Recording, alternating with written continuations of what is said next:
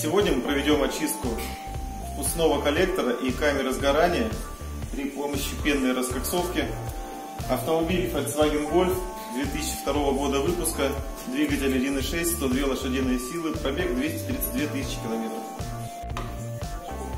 Однако, перед тем, как приступить к очистке, нам необходимо подобраться к впускным каналам головки блока.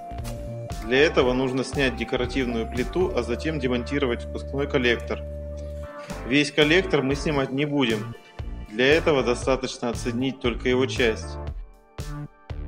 Мы видим, что на впускных каналах присутствует изрядная доля нагара, характерная для автомобилей с пробегом. Есть нагар и на клапанах. Замер компрессии показал, что поршневая группа у автомобиля в довольно неплохом состоянии. А вот нагар на поршнях все же присутствует. Это показал осмотр цилиндров эндоскопом. Особенно большой слой на четвертом цилиндре. В общем, все основания к очистке есть.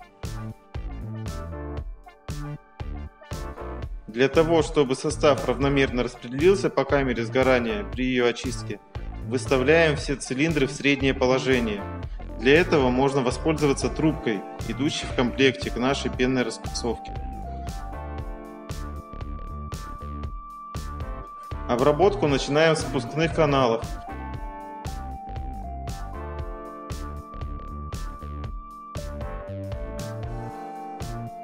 Хорошо видно, как пена, вступая в реакцию с отложениями, адсорбирует их на себя.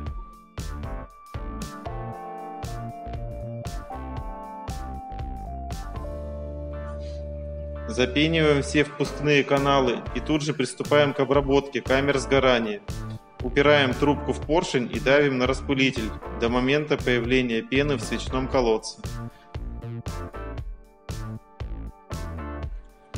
Спустя 5-7 минут шевелим поршни для того, чтобы жидкость, в которую превратилась пена после осаждения, лучше прошла в поршневые канавки.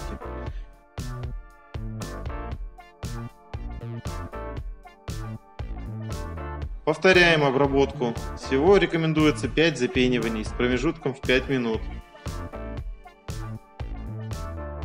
Видно, что от раза к разу каналы становятся чище, очищаются и впускные клапаны.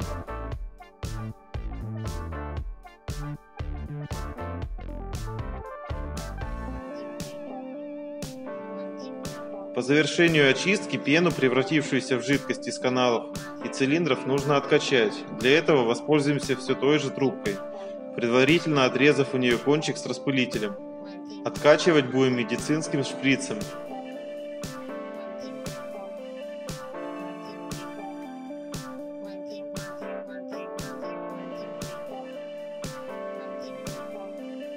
Как видите, пена свою работу сделала. Некогда белоснежная, она превратилась в неприглядную жижу.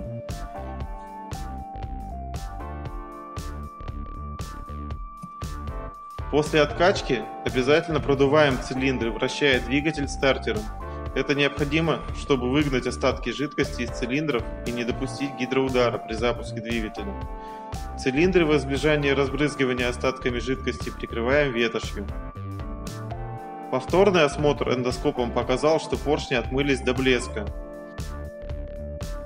Собираем двигатель.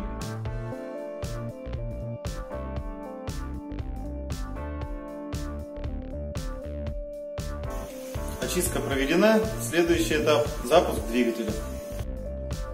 Чтобы не дышать выхлопом в ремонтном боксе, выкатываем автомобиль на улицу.